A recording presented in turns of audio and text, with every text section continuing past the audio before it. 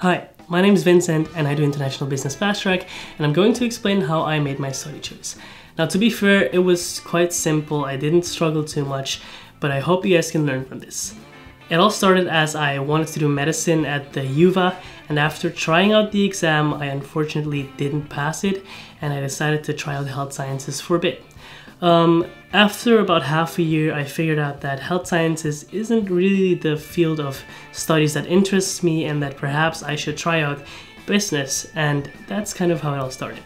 I eventually did some research and I figured out since I really like Amsterdam, there's two good universities in my mind that I could go to, which was the uh, UVA and the HVA. And um, both seemed like really good choices. And after doing some research, I figured out that I'm quite entrepreneurial, I'm practical, and that meaning that the HVA was the better fit for me.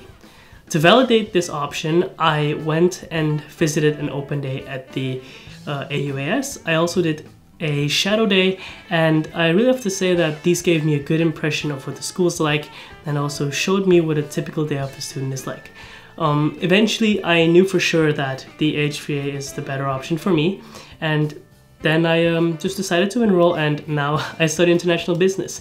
So um, it's quite simple, not too long, but if there's anything that I can really give away as a tip to all of you guys listening, make sure that you do your research and make sure that you really know that whatever you're studying is the or going to study is the right choice for you. Ask around, um, search up on the internet, visit open days and do shadow days because the more you do these things, the more you get the feel that the study might be the right choice for you. So I wish you all a lot of luck and hopefully we see you at the HVA.